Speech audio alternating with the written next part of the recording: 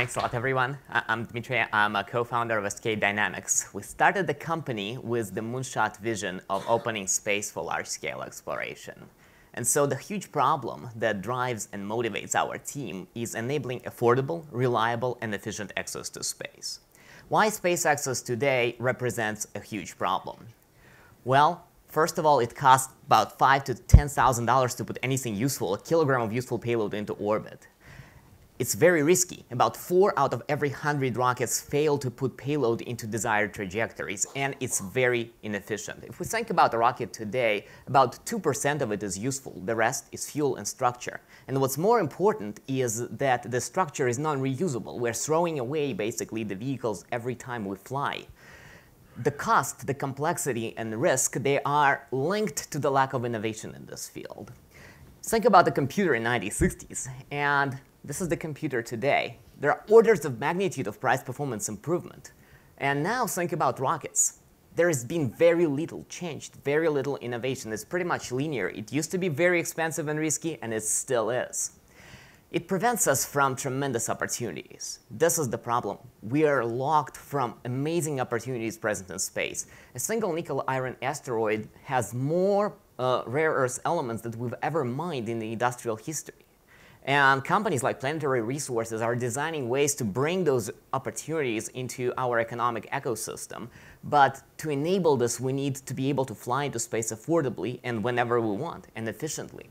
Space has already demonstrated giant potential to change lives of people.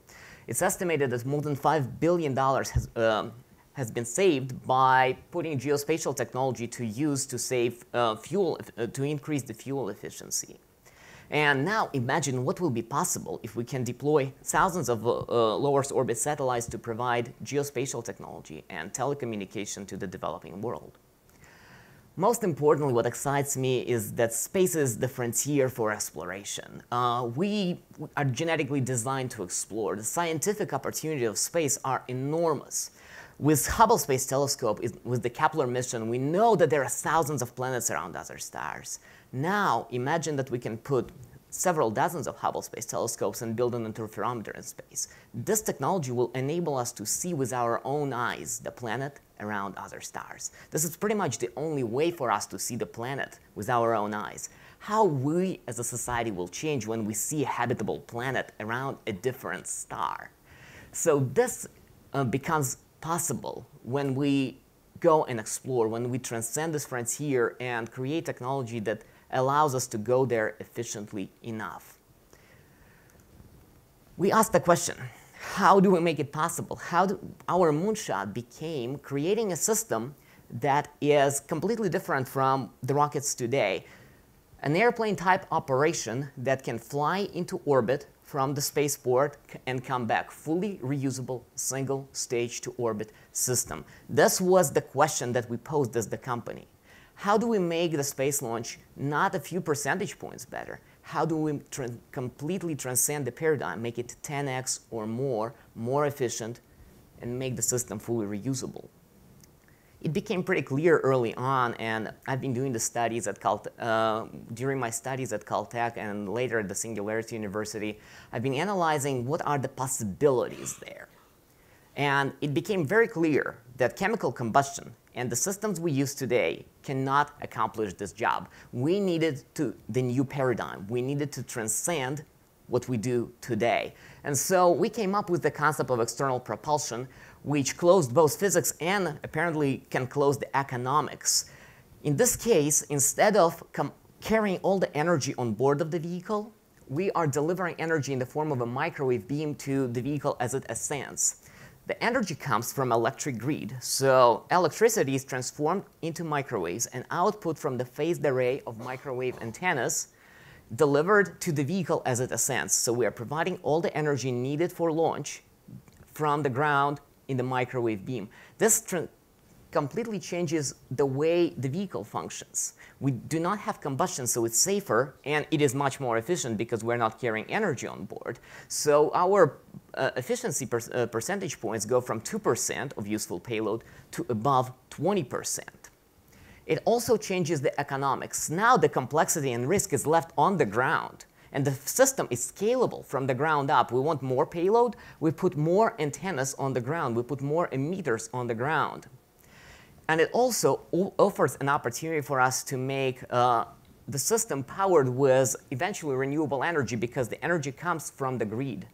So the breakthrough technology that's needed for the system to work is wireless energy transfer, safe, reliable, and efficient wireless energy transfer. And that's what my team, we've been focused on this problem for uh, two and a half years now, finding ways to make wireless energy transfer to be safe and efficient.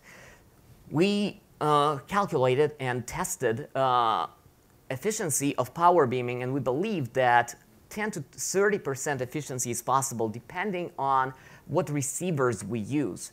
The key challenges here is making this uh, affordable and efficient and safe. And so the breakthrough components of this technology and uh, is making high power microwave transmitters that take energy from the grid and output them in microwaves economical. And we discovered very early on that today it costs millions of dollars to buy a single emitter. And by putting the innovation in and bringing this technology in-house and making a number of efficiency improvements, we are dropping the cost close to an order of magnitude now. So we're building this technology that will allow us to convert energy efficiently into microwaves. The next big question is, can we really do the power beaming over uh, tens and hundreds of kilometers safely and efficiently? If you think about the typical antenna and you try to beam power upwards, there is a significant horizontal component that would either fry a human or be ba basically very unsafe. And so what we came up with is the radome system that suppresses the, or completely eliminates the side lobes. We also obviously thought about the simple questions like what happens if a bird flies into the beam, and this is actually a very simple uh, problem to resolve and eliminate. So we for the two years, we've been designing safety interlocks that allow the system to be safe. And obviously, we're working on the conversion. So once we have unlimited energy on the vehicle, we need to convert it efficiently into thrust. And the interesting thing that there is multiple ways. If you have unlimited energy on the vehicle as it flies, there are many, many ways to convert it into propulsion. We're working on thermal thrusters, so we built uh, a heat exchanger that receives that energy and heats the, uh, the fuel, uh, hydrogen for example, that flows through the heat exchanger and then is exhausted in thrust. There are also approaches to couple it directly into plasma. There are many ways.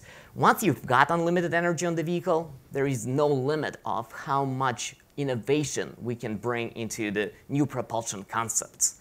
And so to create this, we established the lab uh, currently in Colorado, and we're building and testing all of those technologies. It all comes together into this moonshot vision of making the space launch more efficient, making the space launch more economical. We believe that we can reduce the cost of space access by one or two orders of magnitude because we are changing the economics of flight, because we are transferring the complexity and cost on the ground, and because we're making the vehicles more efficient, we know that we can build vehicles that will be fully reusable and can be operated in the way as airplanes are operated today. And we also look forward to transitioning airspace and flight in general from combustion to, to potentially renewable energy and, and to more, much more efficient systems. We've been flying and uh, mass, uh, flying in the atmosphere uh, for 100 years. We've been flying outside of the atmosphere for about six decades now. And we've been using the same technology. I think it's, it's pretty naive to think that we've reached the limits of technological innovation there's clearly something better, something that transcends the way we do this. And I believe that this technology has the potential to be the next step of technological innovation of flight. I know that with this technology, what will be possible is pretty much unlimited.